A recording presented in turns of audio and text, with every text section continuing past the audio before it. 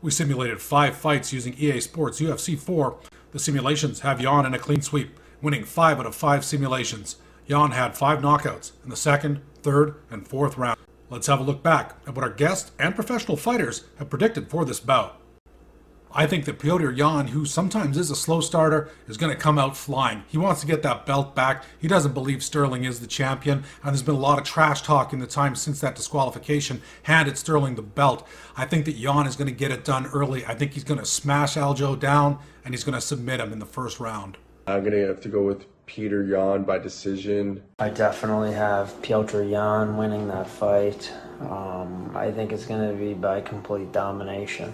After the first time they fought, it was pretty decisive on Yan's part.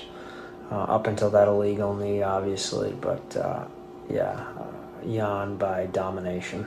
I'm going to go with Peter Yan by decision.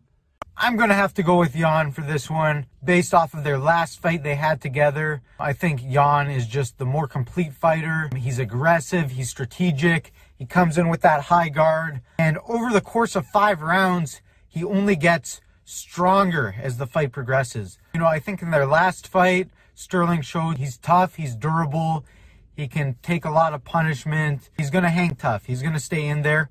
I think Yan is just going to be too much for him. He's going to mix it up high low, um, even in the, the takedowns and wrestling department. He was hitting him with those nice throws.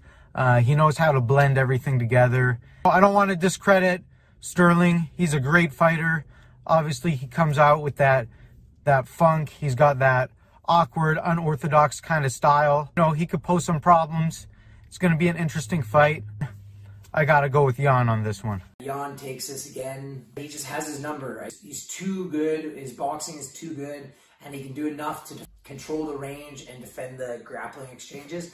I don't think that Aljamain's going to be able to create enough entries into grappling positions or enough chaos to get Yan off his game where he might let up a, grappling situation for Aljamain to maybe get a sub. I don't think that'll happen. I think that Yan will just have control of the fight, and I got Yan TKO in round three.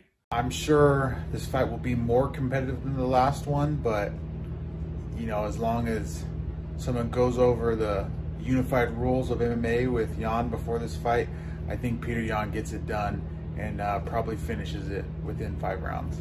Peter Yan, knockout or maybe decision. I don't know.